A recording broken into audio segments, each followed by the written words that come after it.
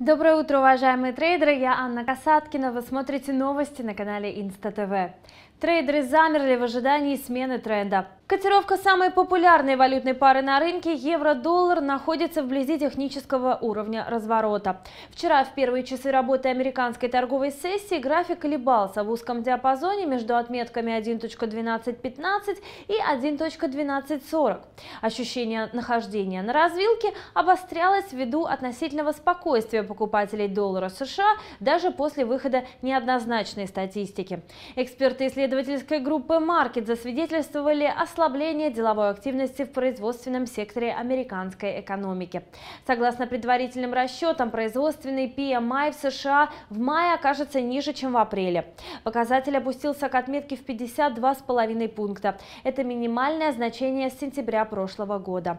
Аналитики же, учитывая недавние позитивные данные по промпроизводству в стране, надеялись увидеть оживление деловой активности. С другой стороны, рынки порадовал показатель по ключевому сектору американской экономики экономики в сфере услуг.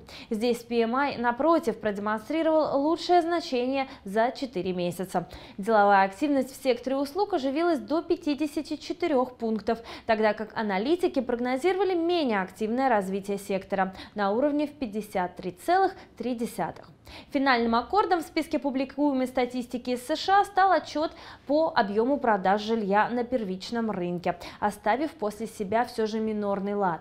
За апрель месяц было продано на 11,4% меньше жилья, чем в марте. Рынок был настроен на то, что объемы снизятся после бума продаж, характерного для ранней весны. Но все же прогноз оказался гораздо лучше фактических значений. Тем не менее, как мы отметили ранее, спрос на американскую валюту сохраняется.